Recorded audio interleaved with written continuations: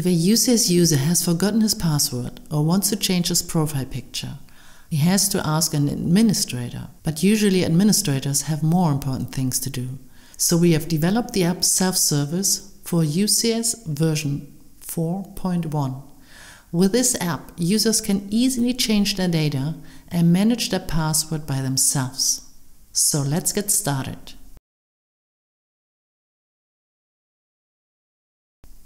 First, we have to install the self-service app. To do this, we log into the Univention Management Console, short UMC, and select Software and App Center. The Univention App Center contains different apps, which can be installed easily. We are now looking for the application self-service. We select it and click on Install. At the end, we confirm the procedure with Install App.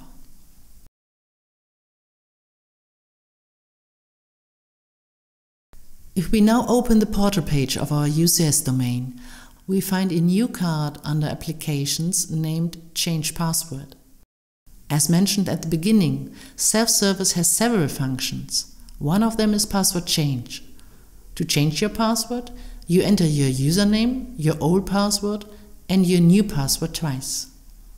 At the end, you can choose Change Password, and the changes will be applied immediately. You can also change your password if you have forgotten it, but you should leave an external email address for this. The email address should be an external one because you probably won't have access to your local address anymore. So you should make sure that your UCS domain has a mail server and a mail relay is configured for this function. We have linked a corresponding instruction in the video description. Thomas Meyer hasn't added an external mail address yet, but he can simply do it by himself. An administrator is not needed. This can be done under Protect Account. Here, Thomas enters his username and the current password.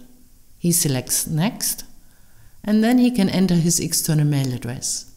At the end, he saves it. Furthermore, the self-service supports SMS, meaning you can have tokens sent by SMS.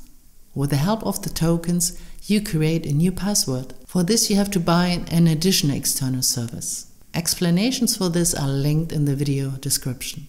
Let us assume that we have protected our user with a password as shown previously.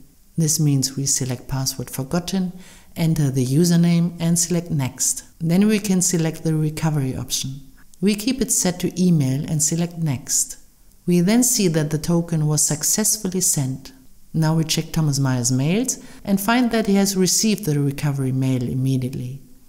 If we click on this link, we get to a page where we can assign our new password, which we are going to do right now. We select Change Password and our password was successfully restored or reset. So far so good, but that's not all you can do with the self-service.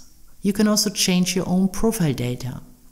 To do so, you have to enter your username and password and if you have entered it correctly, you can adjust your profile data here, as well as uploading your own photo, configuring your primary email address, entering your phone number, and many other things.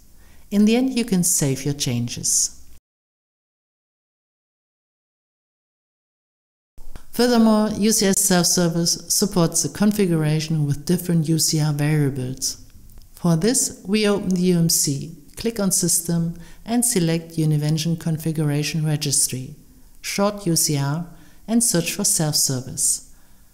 In the list we find the settings related to the self-service. Let's go through all of them according to the row. We ignore the self-service backend server as UCS sets it up automatically.